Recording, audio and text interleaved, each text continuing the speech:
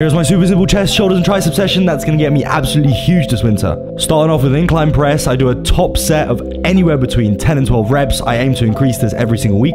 After that, I drop down the weight and I do a further three sets of anywhere between 12 and 15 reps. Aim being to take them very close to failure and the last set really take it to failure. I even eke out some partials as you can see here. That's the way you want to do it. Moving on to shoulders, it's a machine shoulder press. I do four sets of 10 to 12 reps, taking it nice and slowly and taking them very close to failure, if not to failure on some sets.